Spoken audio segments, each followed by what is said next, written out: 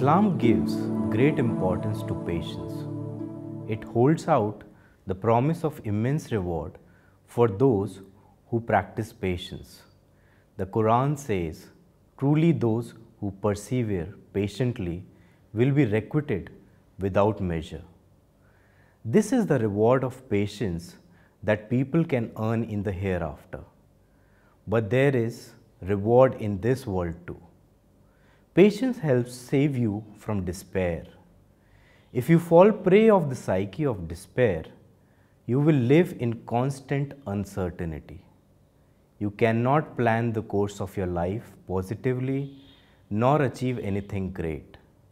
On the other hand, someone who cultivates and practices patience does not get obsessed about the trials and difficult times of the past. He lives with a strong sense of certainty. He is able to courageously plan the course of his life. And because of this, he is able to achieve great successes. Conviction is a positive attribute. With firm conviction, you can achieve wonders.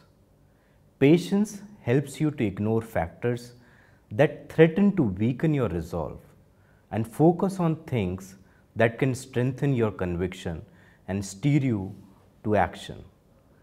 In this world, we are faced with experiences that can provoke and push us into uncertainty. In such situations, patience keeps us stay on course. It enables us to remain firmly rooted in our conviction.